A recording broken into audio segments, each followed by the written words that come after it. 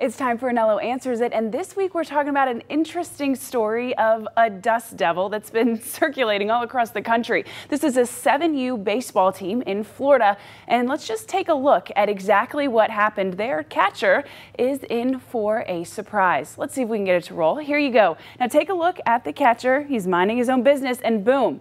Look at that. A gigantic dust devil just appears out of nowhere over home plate. The umpire thankfully jumps in and is able to save the day and protect the kids.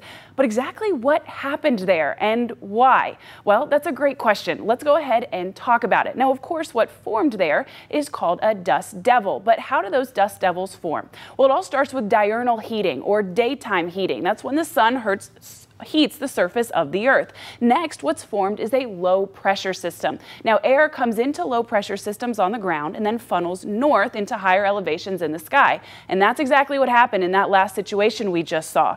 Now, as the air is coming in and then pushing north, it's bringing in dust that's been heated by the sun and is very dry, and it causes it to go up into the sky and start to spin. But here's the thing about dust devils, they're self-sustaining. So until it runs out of that dust, it can stay in the air as long as that air is pushing it into the low pressure system and north. Eventually though, what happens is cooler air comes into the, into the mix and that eventually dissolves the dust devil. So that happened pretty quickly in that video. It was here one second and gone the next, but nevertheless, what an interesting sight. Well, that's all for Anello Answers It this week. If you have a weather question, be sure to email it to me at gianello at waaytv.com because I would love to hear from you.